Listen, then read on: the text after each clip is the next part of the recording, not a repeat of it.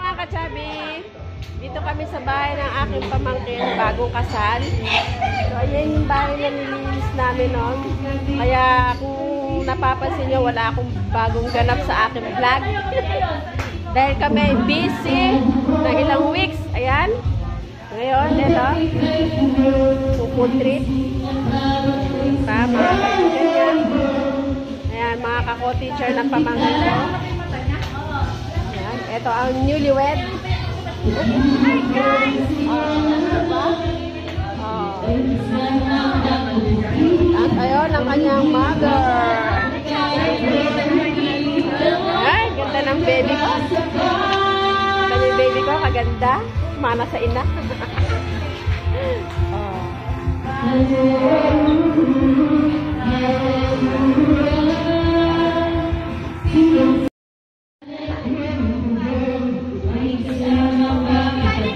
O, tingin dito sa camera. Kaway, kaway.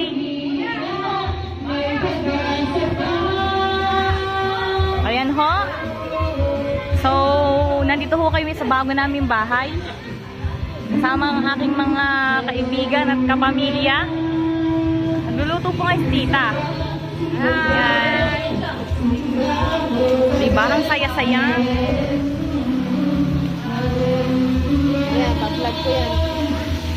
Sarap. Be, ito akin, tsaka ito, tsaka ito. ah. Ayan po ang Kahit kanino. Hi